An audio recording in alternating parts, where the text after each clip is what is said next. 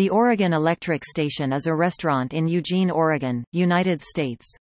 It was originally built in 1914 as a station for the Oregon Electric Railway and was designed by A. E. Doyle.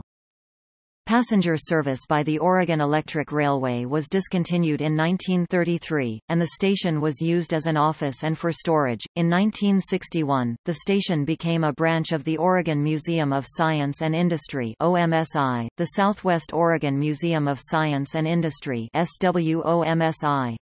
After breaking with OMSI in 1978, the Willamette Science and Technology Center WISTEC sold the station and gave the proceeds to Lane County to build a children's museum in Alton Baker Park.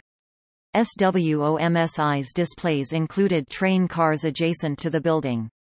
Those train cars are now part of the current restaurant's dining facilities. Work began to convert the station into a restaurant in 1977.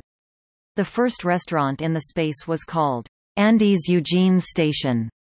The station was listed on the National Register of Historic Places, as the Oregon Electric Railway Passenger Station, in 1979.